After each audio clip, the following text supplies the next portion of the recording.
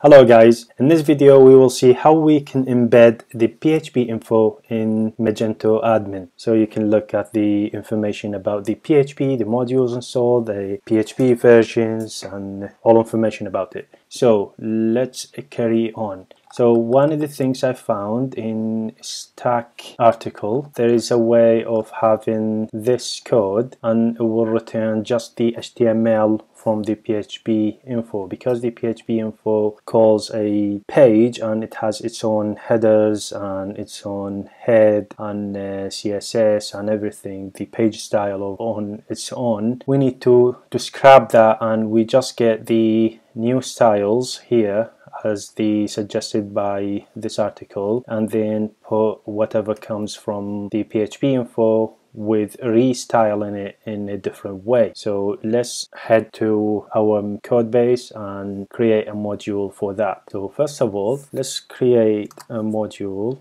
and I'll call it PHP info, PHP info, module.xml, and then empty module, training, PHP info. It doesn't depend on any module, so that's fine, having the registration file. again training PHP info now what we're looking to is having a system XML file to have a section so let's do that inside admin HTML system.xml and then we will have system. I will make this to show the system section. So section system uh, where it shows should be if I go to stores configuration side advanced and then system so in this system, we will show the PHP info should be one of these. What we're looking for is a group. The ID will be PHP, um, the ID PHP info, and then the type is text, and then sort order we will have it one and it only show on default and we'll have a label for it and we call it PHP info or just PHP information. And what we need is front front end module so that's it. That's what we need to to do in the system XML file. We're just trying to have the label and then whatever when you click here rather than showing all these we will show the one cell I think inside yeah inside this table. And it shows the PHP info page that as we see it on uh, the page page when you call PHP info. So we will create a block and we call it block uh, admin HTML, then config form field set, and then PHP info. So this is the block.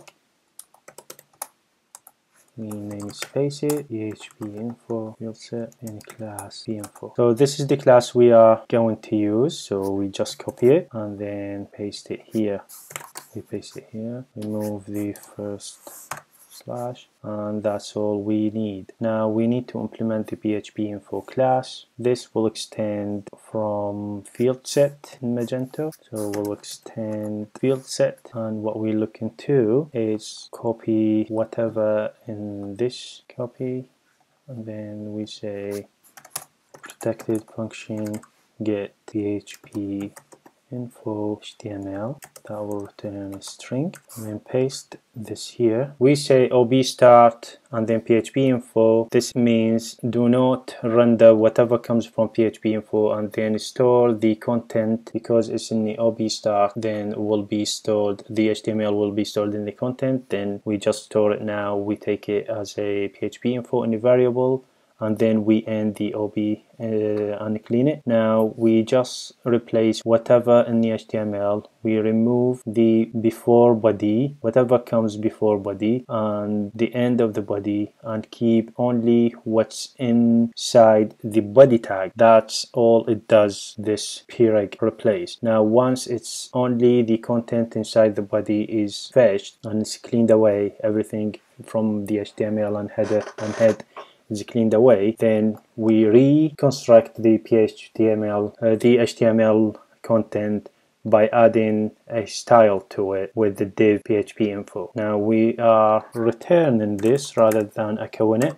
So this is the first step we do. So we just uh, the comment here. And now if we go inside field set we will see get header HTML we will copy this method and override it. Copy and place it here. And the only thing we need to do before the table is rendered we can say here HTML add the PHP info HTML to it. That's all we need just adding this line in this big method we overridden so that's all. Uh, let me just fix everything. So we are getting the HTML now. Uh, whatever comes inside the body and then append it to the head to the header HTML of the section of this section. So it will be here like this but it will be once you click on this will show the PHP info page or info table. Now we just try to set up upgrade in Magento setup upgrade. So it's very simple having the system XML,